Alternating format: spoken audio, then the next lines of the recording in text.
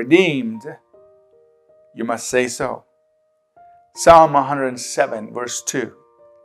Let the redeemed of the Lord say so, whom he has redeemed from the hand of the enemy.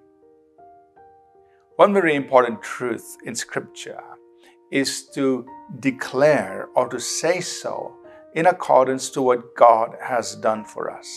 So, in the verse that we just read in Psalm 107, verse 2, the psalmist says, Let the redeemed of the Lord say so, because you are redeemed, because you have been redeemed by the precious blood of Jesus.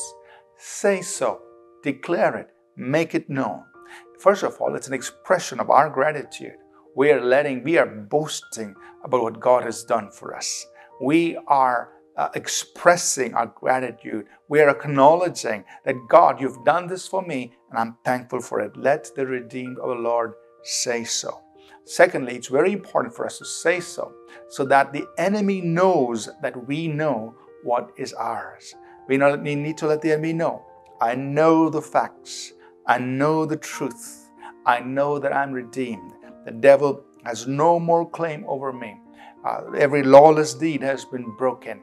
I've been redeemed from aimless conduct that has been handed down to me. I've been redeemed from the powers of darkness. I've been redeemed from this present evil age. I am the redeemed of the Lord, and I say so.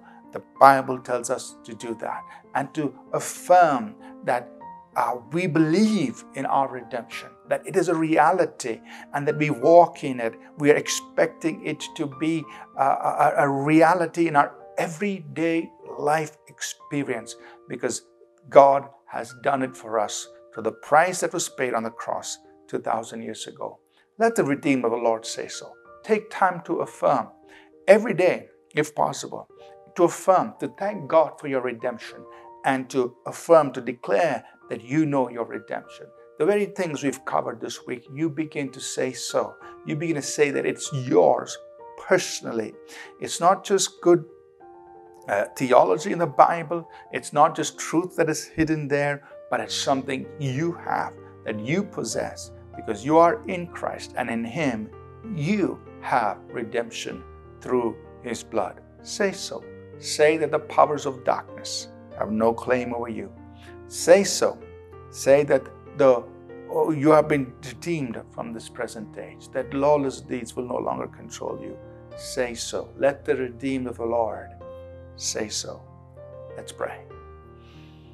Lord Jesus, thank you for your redemption.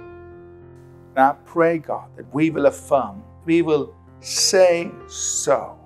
We will announce and declare what you've done for us to the price you paid on the cross. We thank you for the redemption we have in you through your blood. In Jesus' name, amen. Thank you for tuning in to Living Supernaturally. For more resources to strengthen your spiritual walk, please visit apcwo.org.